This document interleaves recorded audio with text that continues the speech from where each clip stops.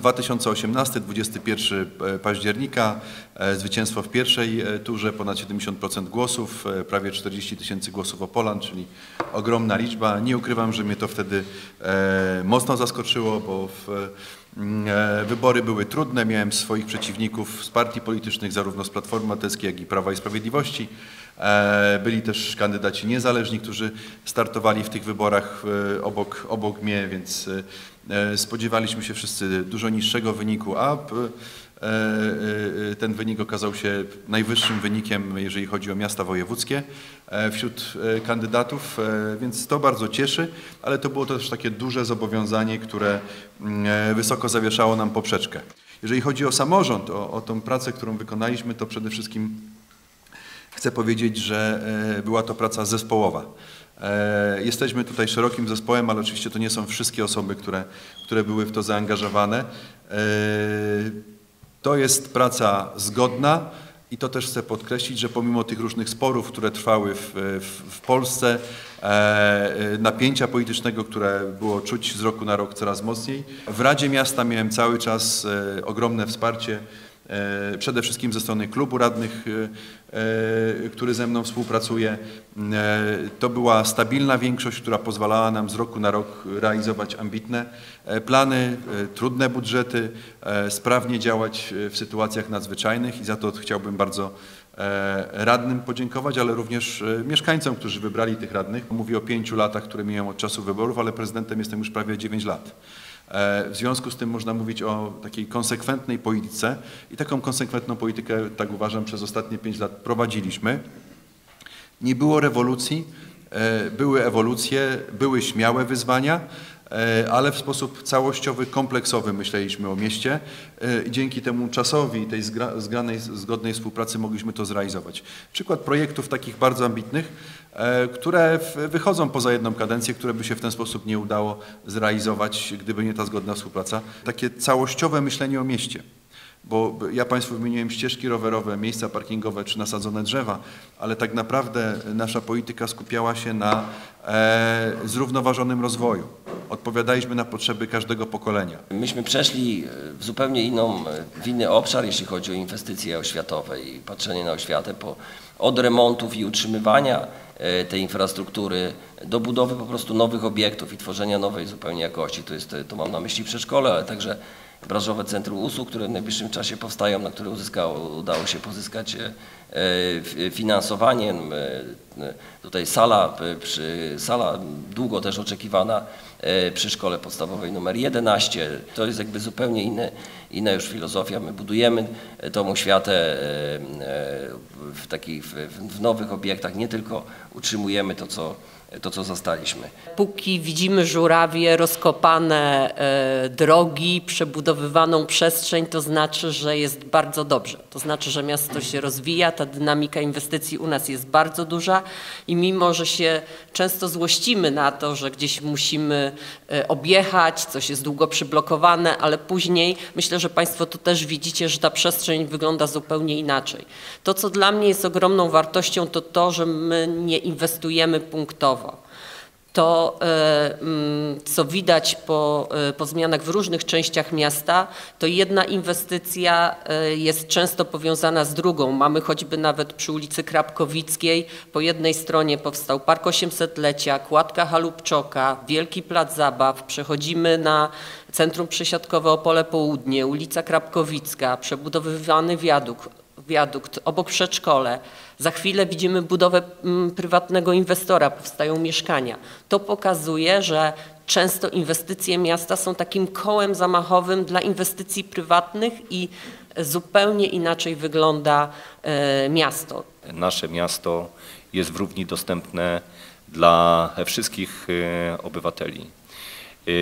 E, Chciałbym tutaj podkreślić chociażby też i e, inwestycje, które realizowane są w tym e, obszarze, czyli to, co już też wspominał Pan Prezydent, Dom Pomocy Społecznej, który dzisiaj tak patrząc globalnie na cały kraj, nie wiem przypadkiem, czy nie jesteśmy jedynym samorządem, który taką inwestycję e, realizuje. Duże znaczenie mają różne też oczywiście programy, czy, czy chociażby tutaj w pierwszej kolejności chciałbym wymienić e, program in vitro, który jest realizowany w mieście Opolu. Dzięki tym, temu programowi urodziło się 20 dzieci.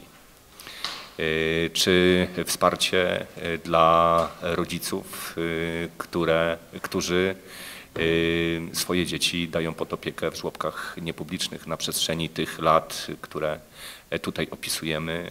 Przekazaliśmy na ten cel około 50 milionów złotych. To jest ogromna kwota, ale to pokazuje również naszą odpowiedzialność jako miasta pod kątem jakby tej polityki wspierania młodych rodzin i tworzenia takich warunków, aby tym młodym rodzicom w Opolu żyło się po prostu jak najlepiej. Kompleks z tego areny Toyoty, parki, do tego jeszcze bym dołożył liceum numer 9. To jest taki przykład bardzo precyzyjnego planowania pewnych zadań i potem łączenia tego z działalnością, która jest realizowana właśnie w szkole średniej. Tam przecież powstały nie bez powodu klasy mistrzostwa sportowego piłki ręcznej i piłki nożnej. Tam również są klasy sportowe i lekkiej atletyki. Więc to jakby też pokazuje, że oczywiście infrastruktura jest budowana i ona służy wszystkim mieszkańcom Opola, natomiast zwracamy uwagę na to, aby był przy okazji tej infrastruktury budowany taki system szkolenia, który w przyszłości spowoduje, że ten nasz opolski sport będzie na coraz wyższym poziomie. Wszystkie działania miasta, które zostały tu przedstawione, wydarzyły się poprzez rozliczenie tych zadań w poszczególnych budżetach. Nadzór, który czuwa nad bezpieczeństwem miasta, to jest nadzór Regionalnej Izby Obrachunkowej, ale również ta kwestia ratingowa, o której wspomniałam, czyli niezależna agencja ratingowa Fitch, która ocenia nasze finanse w sposób bardzo obiektywny, ponieważ ocenia je na podstawie danych, typowo danych finansowych. Agencja ratingowa dokonuje oceny finansów miasta dwukrotnie w każdym roku i rok 2020 spowodował to, że te działania były również dobrze oceniane przez zewnętrzną firmę ratingową. To spowodowało, że rating został podniesiony dla miasta pozycji A, jeżeli chodzi o rating krajowy, do pozycji A+, a jeżeli chodzi o rating międzynarodowy, z pozycji BB- do pozycji B. Patrząc na całość polityki finansowej miasta, musimy mieć na uwadze to bieżące funkcjonowanie miasta, te bieżące świadczenie usług dla miasta, które powinny być finansowane, szczególnie z tych dochodów, które trudno jest je rozszerzać, jeżeli chodzi o strukturę tych dochodów. Do tego też spektrum zarządzania finansowego miasta musi zostać tutaj zreformowane i to daje szansę na dalszy rozwój samorządu.